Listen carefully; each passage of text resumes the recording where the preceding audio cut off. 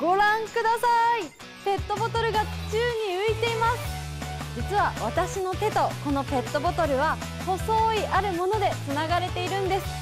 そのあるものというのは私たちの生活に欠かせないものらしいんですがそれが一体何なのか潜入します。すごい。福島県が誇るすごい技術をゆうちゃんが調査。びっくりすご技カンパニー。やってきたのは郡山市にある日東坊福山事業センター。日東坊は福島県で創業し今年で100周年。主力商品はグラスファイバーです。こちらがグラスファイバーということですが糸みたいですねはい、えー、グラスファイバーはガラスでできた繊維です。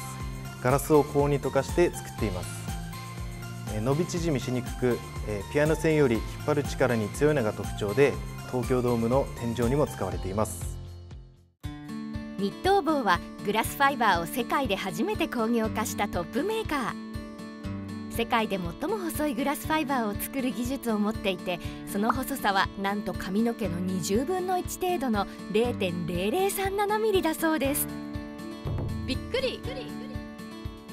その極細グラスファイバーで折ったガラスクロスは熱に強く電気を通さない特徴を持っています。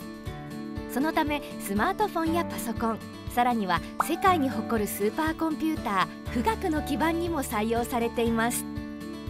日東坊のスペシャルなグラスファイバーを使って進化していく情報社会を支えていきたいと思っています。日東坊はメディカル事業も展開しており血液や尿から健康状態を調べる体外診断用医薬品などを作っています検査キットは人間ドックや健康診断用で血糖値や肝機能の指標となるガンマ TTP などおよそ100の項目も検査することができます。びっくり。今後発展途上国の健康診断が先進国並みに進むと考えれば可能性を秘めた事業です。敷地内にある総合研究所は3年前に完成したばかり。カフェテリアなどもあり働きやすい環境が整っています。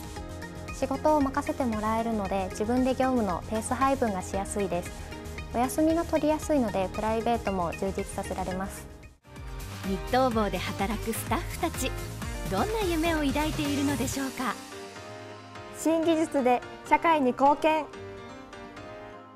唯一無二の技術でデジタルや医療分野に製品を送り込む日東坊これからの100年も私たちに欠かせない存在となりそうです。